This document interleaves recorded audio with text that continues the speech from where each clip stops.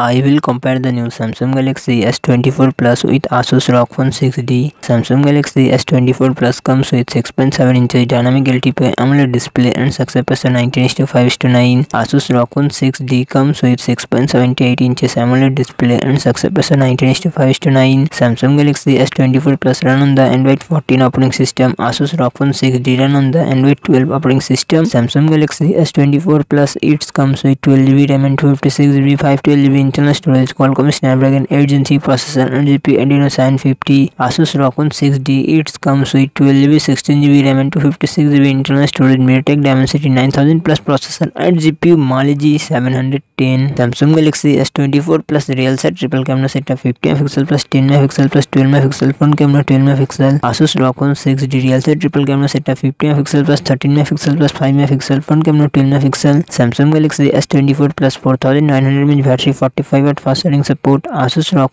6d 6000 battery 65 watt fast charging support